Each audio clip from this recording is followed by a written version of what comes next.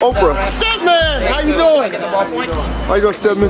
Oprah, what is the one dollar amount what most people will always ask for if they ever do ask you for anything? Is there a one dollar number Thank you, amount? Oprah. Thank you. Oprah, can I get a picture This is what? I I'm a big find. fan. People ask for money depending on what they think you have. So when I was making 22000 a year, people always needed $50. Okay. Then when I moved to like $50,000 a year, everybody always needed $500. Now nobody needs anything less than $50,000. That's the number. For me, it's five dollars. For me, it's five dollars. All right, Oprah.